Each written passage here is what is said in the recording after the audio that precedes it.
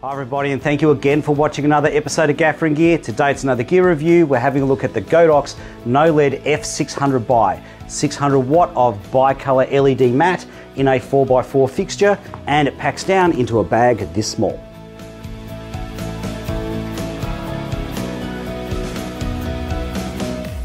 Alright, so I'm going to start this review off in a bit of a weird place if you're not a gaffer, but if you're a gaffer I think you're going to absolutely appreciate where I'm coming from and putting this detail up the front. All right, so this thing is 600 watt. It can light up a large area. That's a lot of firepower, 600 watt.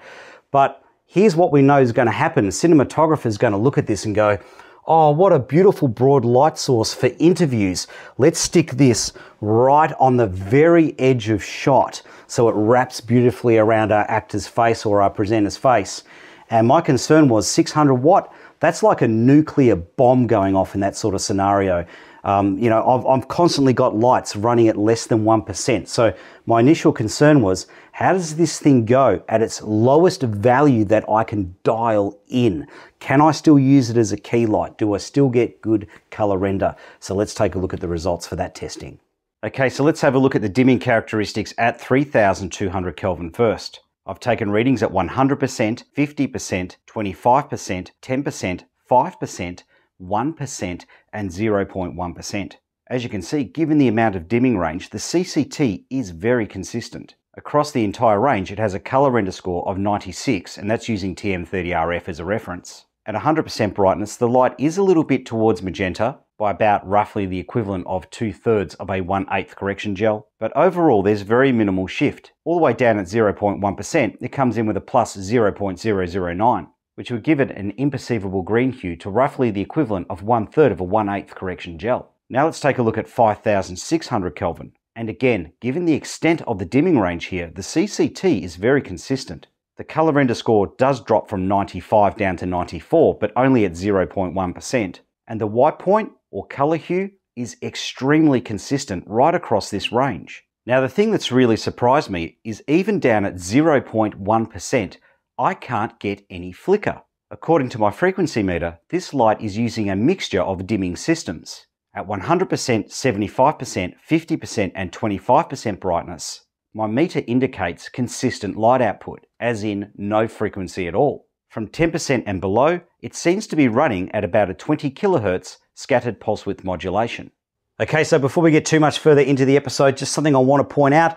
This handle here is not actually part of the light. The mount on the light is a junior slash baby pin mount, and this is a clamp that is designed to attach lights like this to the stand. It is not actually part of the light, so just ignore it when you see it. All right, let's get into the negatives and get those out of the way. Now, despite this being their flagship brand, it does not have built-in CRMX. I found that quite surprising. Now, the light does have built-in DMX, which is very good for setting your levels and setting your CCT, but I wouldn't call it cueable. So if you want to see how it cues, uh, have a look at that testing later on in the episode.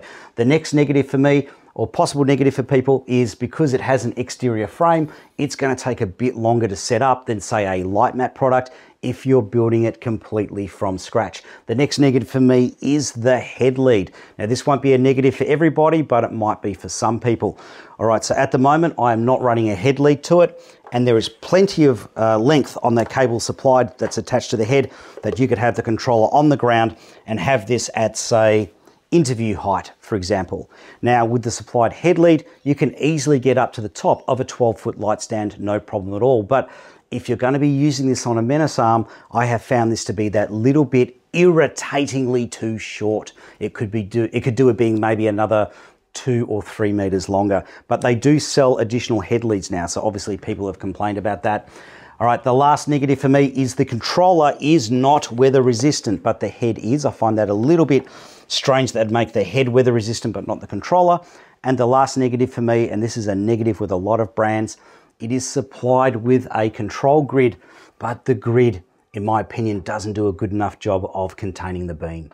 Now let's cover some of the things that are neither pros nor cons, but some people are going to want to know about. The size of the mat is just a little bit too small to mount onto a standard 4x4 blade frame, which is just a little bit frustrating, isn't it, guys? All right, the next possible con for people might be the connection point on the power cable here where it, where it connects to the mount. It is not centralized, so it can throw it off balance a little bit. If you're on a light stand or something like that, it's no big deal. But if you're on a Menace arm, it's just something to be aware of, okay? Just make sure you've got everything nice and tight on that arm so it doesn't slip. And the last possible negative for people is it only comes with the one flavor of diffuser, which is a grid cloth. I'm guessing about a half grid cloth. For me, this does do a good all-round job though. All right, so let's talk about the pros now. The dimming characteristics are superb. The color render is also superb. It packs down into a relatively small form factor. Its user interface is really easy to use. It has a lot of output. You could use it without the diffuser and it's still a usable light. And finally, the price point. So let's talk about how much it costs and what you get for your money. Okay, so let's go through what you get. All right, so the kit comes in this beautiful, big, well constructed sturdy bag and the bag has a few other smaller bags inside it to keep everything nice and neat. All right, so you get your instruction manual, you get your regional power cable which has a Neutrik connector at one end and this is a decent cable, it's not made of that PVC rubbish you get a head lead which has nice industrial connectors on it and you also get the controller. Now the controller has the power supply built in. Now the controller is not weather resistant but it does have a V-mount capability on the sides ready to go. Now in terms of the battery options, you can run it off a single 14.8 volt battery at a maximum 20% brightness. You could also run it off a single 26 volt battery at a maximum 30% brightness two 14.8 volt batteries for a maximum 40% brightness. You could do a combination of a 26 volt and a 14.8 volt for 50% brightness, and two 26 volt batteries would get you up to 60% brightness. Okay, the next thing is another bag which holds your frame kit in it. Now I've already taken the liberty of building the center part of the frame just to save a bit of time with explaining. But this is the outside of the frame. Take a look at this for a good design. Okay, how beautiful is that? All right, so I'll spin this around so you can see it a little bit better. All right, so you've got these uh, joiners here, which slide. So that just slides across and lock. Do the same on the opposite side. So slide that across, stops the hinge from folding in, and then lock it down. Now your other two hinges here, which move. Once you put your center in and lock that into place, that'll stop those hinges from folding. Now the next thing in the bag is another bag and this bag contains the mat. All right, so underneath the flap here is another little compartment which can hold the head lead or the head lead that's connected to the mat at least so that you don't have the lead rubbing against the mat. All right, so let's get that out. Now the mat has eyelets all the way around the outside, so you don't necessarily have to mount it to the frame. You could mount it using the eyelets in any other way you see fit. Now you also get a whole heap of these bungee cord ball things. All right, so what I would suggest is um, when you're assembling this, this took me a little bit of time to figure this out, have the top row already in the mat, okay? So all you then have to do is hold the top row up and then feed the bungee cord around the frame and back around the ball. And that way, you've got all the hard work out of the way. Okay, so now we've got all the bungee cords on, the mat is securely held in place. And look, even pointing downwards, that's not gonna go anywhere, that's pretty secure. Now at this point, because the mat has the weather protection on the front, that weather protection offers just enough diffusion over the LEDs that you could possibly use it at this point if you're in a hurry. Now, when you're running this through its CCTs, at no point do you have any individual color of LED running by itself. They're all running together, so you get a nice even distribution across the surface. Now the next thing in the kit is the softbox. Now the softbox mounts to the light via the Velcro on the back of the light, not on the front here. All right, so just a quick tip for new players. Took me uh, a couple of goes to get this right. So on the softbox here, around the outside where the Velcro is, you've got these little gaps. That, that space there is for the bungee cable or bungee cord to go through. Now you want to make sure that you've got that on the corners. Okay, if you don't have it on the corners, you're going to have to start again. All right, so let's put this on and see how we go. Now at this point, if you've got a friend, it would be very, very helpful. But if you're alone like me, well, it could take you a few minutes longer. Now I've got the box on, it is worth pointing out that the edges of the box here do have some snap spine to them to give you that little bit more support with your diffuser so it doesn't sag like it does on a lot of other soft boxes. Now in terms of diffusers, you get the one diffuser, which is a grid cloth and it's at least a half strength grid cloth. Now the last thing supplied in the kit is a grid and the grid has these little notches on it that let you know where the corners are so you can get them on nice and fast.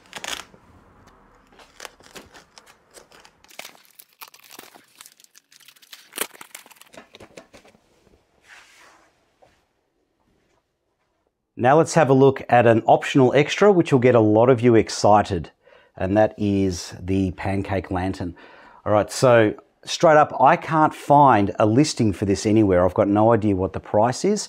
It, it's all over their websites as an optional extra, but I can't find any actual link to it. So hopefully they sort that out soon. Now, it's made with a grid cloth material. You definitely can't see the LEDs inside. In terms of a negative, it doesn't come with any skirt but you could make up your own skirt and attach it to the metal frame easy enough, you know, just using some black material. In terms of how easy this is to assemble, I spent longer looking for the instruction manual that doesn't exist than it took me to assemble it. All right, so in the center here, you've got this uh, cross piece, because I've got two of these lanterns. So you've got this cross piece here, and you've got four rods, which then just simply go into the cross piece as easy as that. Even easier if you don't need glasses and you can see what you're doing. And uh, then your rods, essentially, they just go through loops here into the corner of the lantern. And the lantern then simply velcros onto the back of the light. Easy as that. All right, let's have a look at how the light performs with and without the different accessories. Now let's have a look at the light with no diffuser attached. As you can see here, the weather protection does offer a little bit of diffusion, which does help to merge everything together as one light source, given that you're far enough away. And just for your reference, the light here is set to 5600 Kelvin.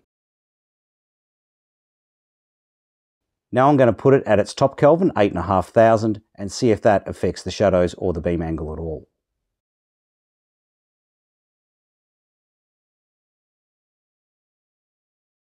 Now let's have a look at 3200 Kelvin.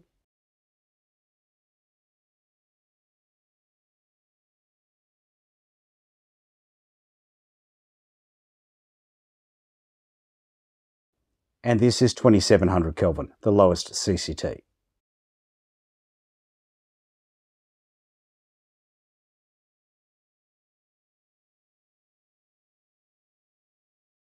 As you can see, it is still a very soft light source, even without the diffuser. But you can get some shadow echo, which will be noticeable on really fine shadows. Now let's take a look with the supplied diffusion on. And as you would expect, this just gives a massive soft spread.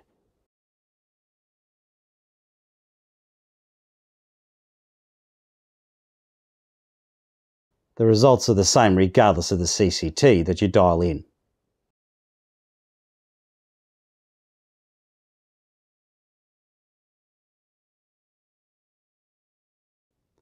And of course, the shadow qualities on a light source this broad are going to be very soft. Next, let's try this with the supplied grid. And for me, the cell walls here are either not long enough or the cells are too big. Now, it has definitely reduced the beam angle. It looks more like the beam angle that I'd get off a 2x1 soft light.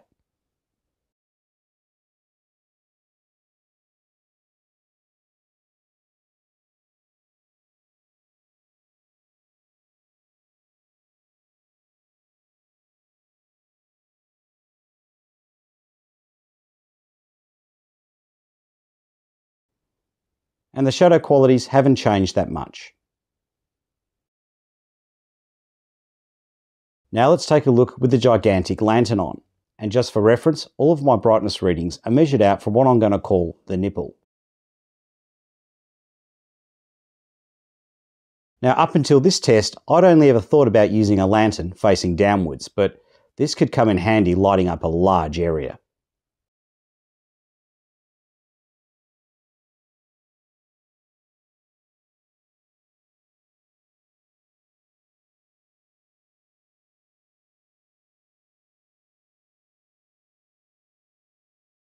And again, very soft shadows. Okay, let's start off the DMX testing. The Godox F600 Bi is running off an 8-bit CCT profile. It has its dimmer set to linear. As far as I can tell, there are no smoothing options, and it is receiving its commands via an external CRMX receiver, which is actually a Godox optional extra. To give you something to compare it to, I have a Titan tube, which is also receiving its commands via CRMX. It is set to an 8-bit CCT profile and it is set to its default standard dimmer curve. Let's start off the testing with instant on-off commands.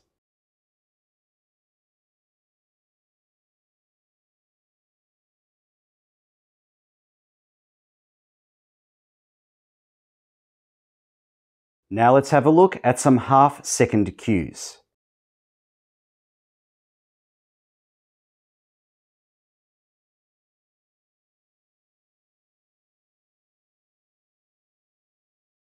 Now for some one second cues.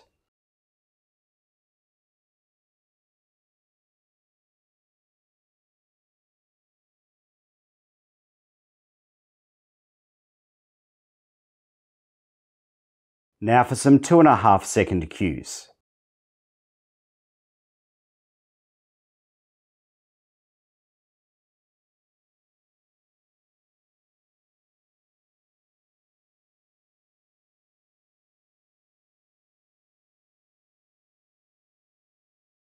And now for some 5 second cues.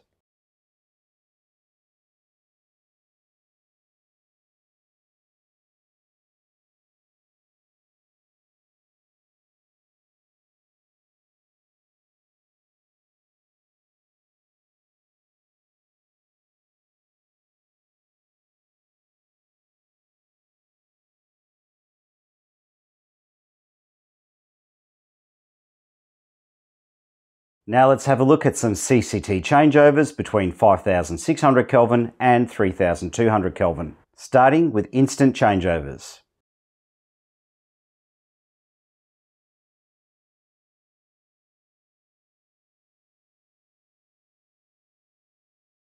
Now for some half second changeovers.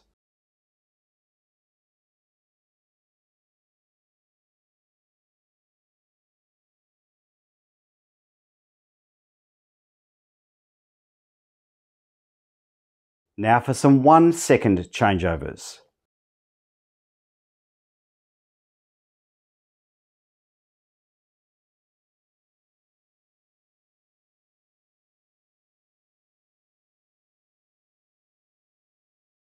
Now for some two and a half second changeovers.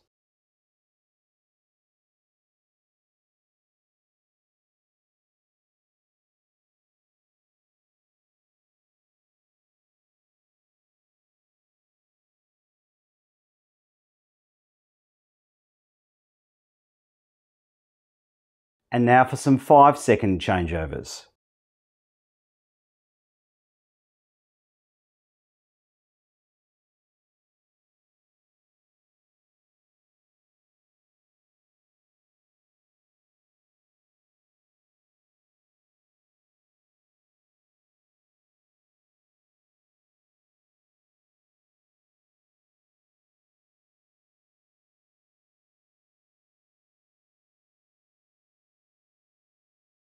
Okay, let's start going through the rest of the data I've collected on the unit, starting off with the maximum AC power draw. The maximum power draw recorded over several days of testing was 643.8 watt. At 3200 Kelvin, it's pulling 635 watt, and at 5600 Kelvin, it's pulling 639 watt. Now let's take a look at the average CCT accuracies, and these are taken with the diffuser attached.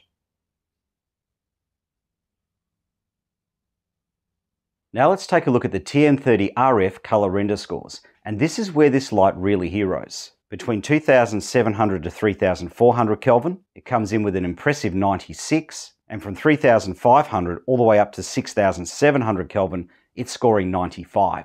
Now let's have a look at our white point placement, color hue or delta UV. Now I'm not giving any averages because this light is bicolor, so it doesn't track to the Planckian or daylight curve. At its lowest Kelvin of 2700, it has a green hue to slightly more than the equivalent of a 1 8th correction gel. At roughly 3000 Kelvin, it crosses the Planckian curve. At 3200 Kelvin, the light has a slight magenta hue to roughly the equivalent of two thirds of a 1 8th correction gel. At 4000 Kelvin, the light is the most it ever gets under the Planckian curve. Now the light hits the Planckian curve once again at 5600 Kelvin, and at 8500 Kelvin, its top CCT, it's the most it's ever above the Planckian curve with a delta UV of plus 0.0072. Okay, let's take a closer look at some of our CCTs now, starting off with the lowest Kelvin that we can dial in. When I dialed in 2700 Kelvin, I got 2870. The TM30 color render results were 96% average color accuracy with an average 101% color saturation. With the CRI scores, R12 is only just below 90. This is the spectrum distribution and the white point comes in with a delta UV of plus 0.0028, which would give it a slight green hue to roughly the equivalent of a 1 8th correction gel. When I dialed in 3200 Kelvin, I got 3319 with an SSI score of 84. The TM30 color render results were 96% average color accuracy with an average 103% color saturation. With the CRI scores, R12 is only just below 90. This is the spectrum distribution.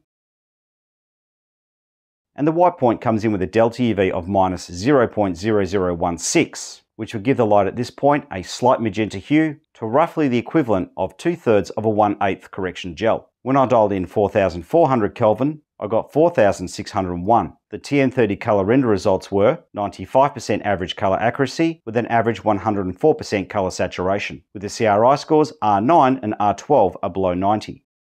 This is a spectrum distribution, and the white point comes in with a delta UV of minus 0.0033, which is pretty typical of a bicolor light at this point. When I dialed in 5600 Kelvin, I got 5791 with an SSI score of 74. The TM30 color render results were 95% average color accuracy with an average 103% color saturation. With the CRI scores, only R12 is below 90. This is the spectrum distribution and the white point comes in with a delta UV of minus 0.0001, which places it almost smack on top of the Planckian curve, but if your camera is working to the daylight curve, that would make this light slightly magenta to roughly the equivalent of a 1 8th correction gel. Now I've taken some readings at 6,500, 7,000, 7,500 and 8,000 Kelvin. When I dialed in the top CCT of 8500, I got 8633. The TM30 color render results are still a respectable 93% average color accuracy with an average 99% color saturation. With the CRI scores, R9, R10 and R12 are all below 90. This is the spectrum distribution and as you'd expect with a bicolor light with a CCT this high, it has quite a green hue with a delta UV of plus 0.0072. All right, so just my closing thoughts on this unit. The biggest thing I don't like about it is the fact it doesn't come with a decent grid.